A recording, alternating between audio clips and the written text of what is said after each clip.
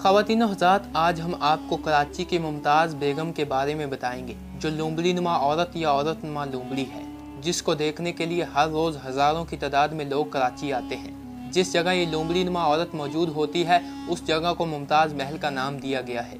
जिस जगह ये मुमताज़ बेगम नामी औरत लेटी होती है, आम औरतों की तरह मुमताज़ बेगम ने भी अपने चेहरे को स्काफ से डांपा होता है। और बाकी सारा जिसम लुम्बड़ी का है, जिसको देखने के लिए हर वक्त मुमताज़ महल में लोगों का हजूम लगा रहता है और कई लोगों से ये मुमताज़ बेगम बात भी करती है और किसी को भी अपनी असल हकीकत नहीं बताती। लेकिन आज हम इस वीडियो में इस मुमताज़ बेगम के इस राज का पर्दाफाश करेंगे कि वो कैसे इस लुम्बड़ी के जिसम में तब्दील होगी। लेकिन उससे पहले गुजारिश है कि अगर अभी तक आपने हमारे चैनल को सब्सक्राइब नहीं किया तो हमारे चैनल को सब्सक्राइब करें और साथ ही लगी घंटी के बटन को लाजमी प्रेस करें, ताकि आपको फ्यूचर में भी ऐसी वीडियो का नोटिफिकेशन बर वक्त सबसे पहले मिल सके।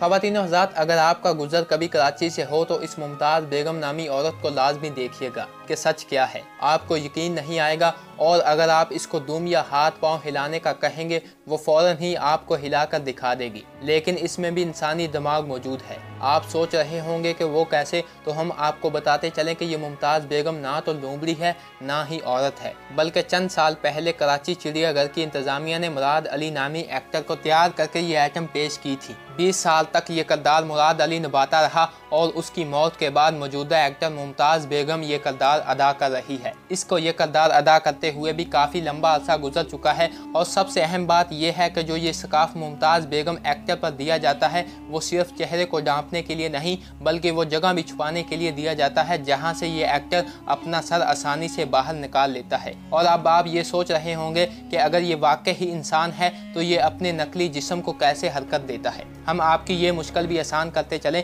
कि आज इस दुनिया में कोई भी चीज़ मुमकिन नहीं। हर नामुमकिन चीज़ को हज़रत इंसान ने साइंस और टेक्नोलॉजी की मदद से मुमकिन बना डाला है। और इस बात में कोई बाइद नहीं कि मुमताज़ बेगम के जिसम की हरकत में भी एक सिस्टम फिट किया गया है, जिसकी मदद से ये बहरूपिया अपना लुम्बड़ी नुमा जिसम को अपनी मर्ज़ी से हरकत देता है, जिसको देख अक्सर लोग यकीन कर लेते हैं और अक्सर लोग इसको नहीं मानते। और ज़्यादातर लोगों का कहना है कि यह खुदा का करिश्मा है। लेकिन हम आप देखने और सुनने वालों की राय जानना चाहते हैं कि आप इसके बारे में क्या कहते हैं। कमेंट सेक्शन में अपनी राय का इजहार ज़रूर कीजिएगा। वीडियो पसंद आने की सूरत में इसको लाइक करें, अपने दोस्तों के साथ व्हाट्सअप फेसबुक पर शेयर करें।